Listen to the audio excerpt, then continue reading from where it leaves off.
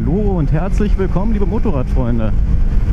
Heute möchte ich mal kurz und knapp, wie ihr es von meinem Kanal kennt, äh, drei kleine Themen ansprechen.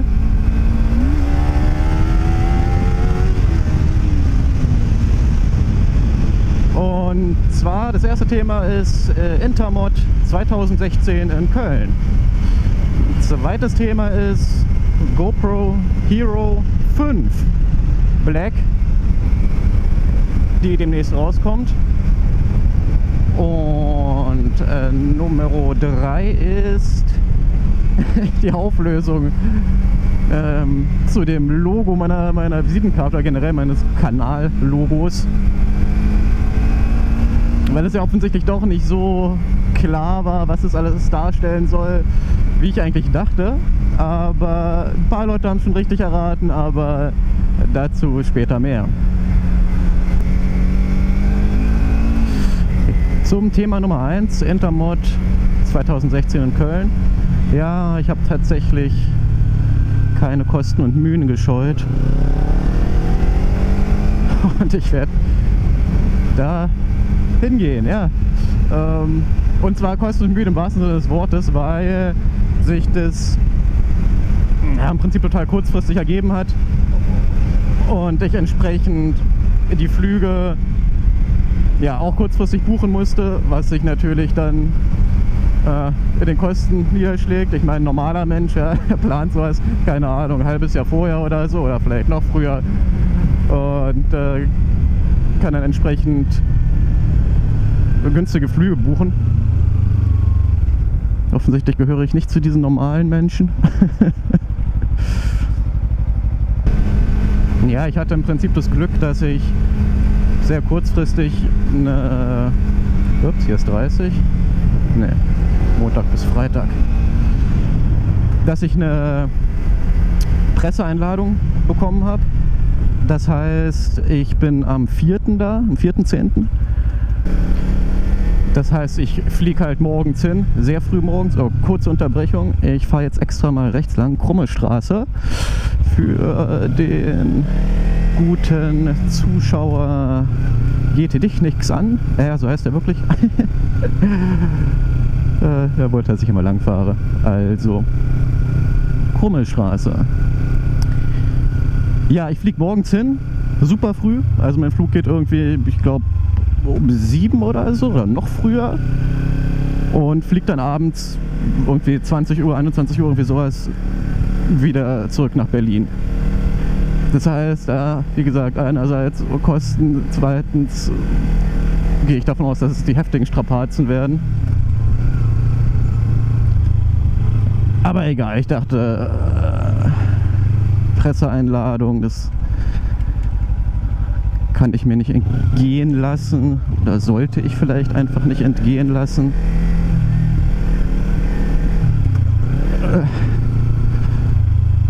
Besonders gut zu fahren ist diese krumme Straße aber nicht. Ey. äh.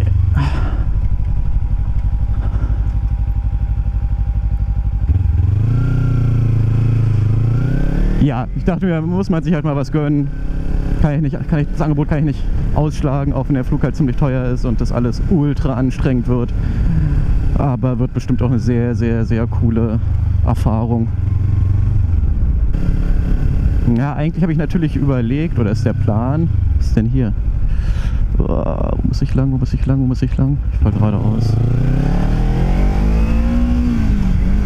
eigentlich habe ich überlegt, da natürlich dann entsprechend äh, zu filmen, äh, Fotos und, und äh, Videomaterial zu machen, ist ja klar.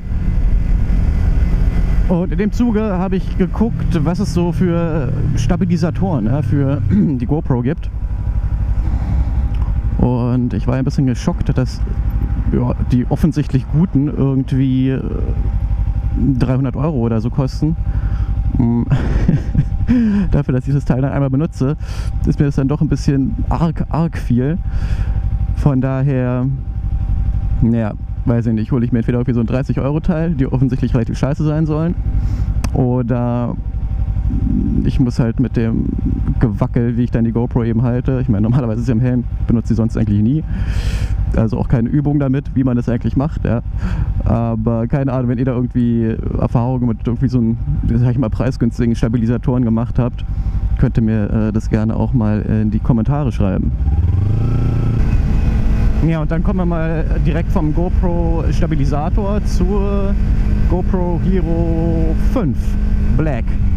Eine andere machen sie offensichtlich nicht, zumindest erstmal nicht. Ich weiß nicht, auf der, auf der Website stand auf jeden Fall nur was von einer Black Edition. Mm, jo, es war so, dass ich irgendeine Werbung gesehen habe. Ach Leute, was geht? ich weiß gar nicht, Mediamarkt, Saturn, irgendwie sowas. Und da haben sie die äh, Hero 4 Silver, also die, die ich auch benutze, für 299 äh, Euro angeboten, was eigentlich ein ziemlich gutes Angebot ist. Fuck, was ist da los, Mann?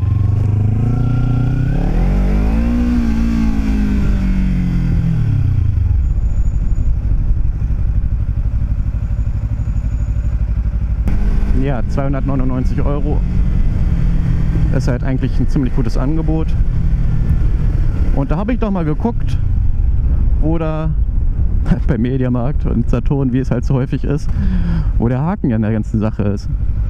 Ja, der Haken ist einfach nur der, dass am 2.10. müsste es sein, ja, die, die neue rauskommt, die Hero 5 eben.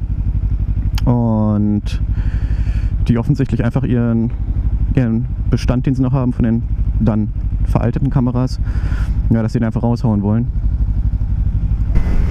Also ich bin auf jeden Fall mal gespannt, was die neue Kamera dann ja, hermacht. Ich habe es vorhin nur kurz ein bisschen überflogen von den Leistungsdaten, also sprich Auflösung und ähm, Framerate. Wow.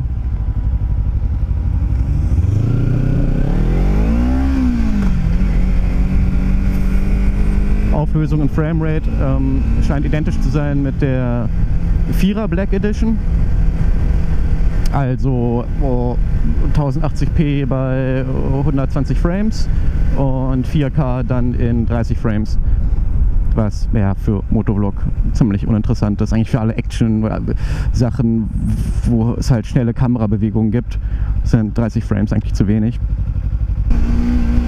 Wir sind hier übrigens auf dem äh, weltbekannten Berliner Kudamm und ich finde den ehrlich gesagt total langweilig. äh, über so viel Müll, der hier rumliegt überall.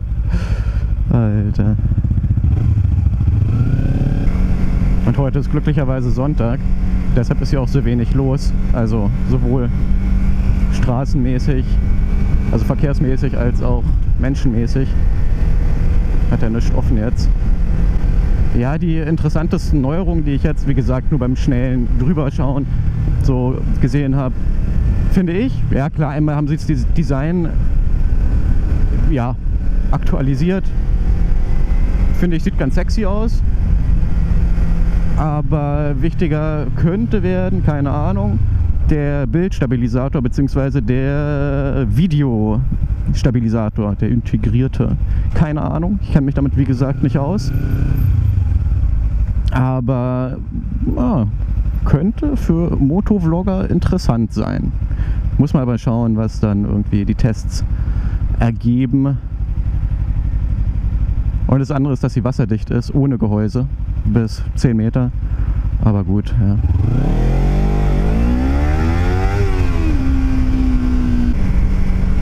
Ja, dann kommen wir mal zum letzten Punkt. Und zwar ja, die Auflösung meines Logos, was es denn wirklich darstellen soll. Eigentlich ist es relativ trivial. Äh, die meisten haben es schon richtig erkannt. Ich werde euch das jetzt hier nochmal einblenden und äh, dazu auch noch ein Vergleichsbild. Oh, hier ist 30, okay. Ja, Vorbild bzw. Ideengeber für die grundsätzliche Form ist die Front der Kleinen, also die Scheinwerfer und die senkrechten Balken in, sag ich mal, jedem Auge sollen die Säulen des Brandenburger Tors symbolisieren. Und die vier schwarzen Striche, die da so nach schräg oben auf jeder Seite zwei rausgehen, sollen äh, die Quadriga symbolisieren. Die Quadriga auf dem Brandenburger Tor.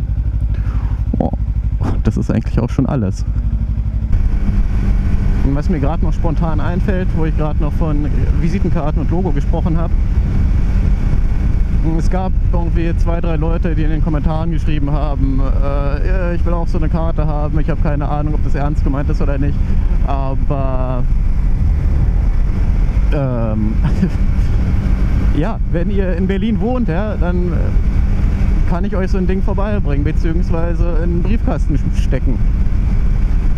Dafür brauche ich halt eure Adresse logischerweise und ganz wichtig bei der Sache, ja, wenn ihr das wirklich wollt, wenn ihr Bock drauf habt, äh, dann schreibt eure Adresse um Gottes Willen nicht in die Kommentare. Ja.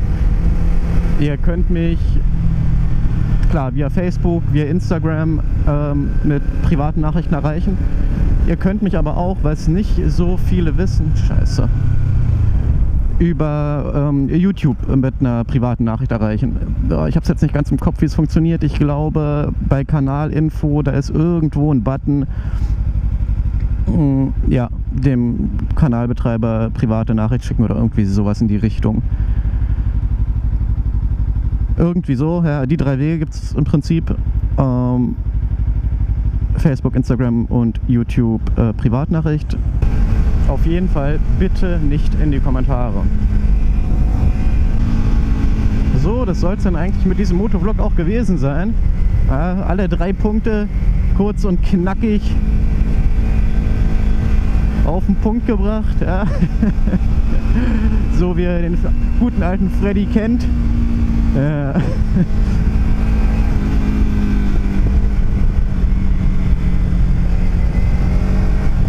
In diesem Sinne, auch wenn ich mal wieder zu ausschweifend war, wenn euch das Video gefallen hat, würde ich mich natürlich wie immer über ein Däumchen nach oben freuen. Wenn ihr noch nicht abonniert habt, würde ich mich über ein Abo natürlich besonders freuen. Ihr könnt mir auch gerne auf Instagram folgen. Ich verlinke euch jetzt links noch zwei Videos. Die Links packe ich auch in die Videobeschreibung. Diese Videos könnt ihr euch auch gerne noch anschauen. Dabei wünsche ich euch viel Spaß. Habt noch einen schönen Tag und Haut rein!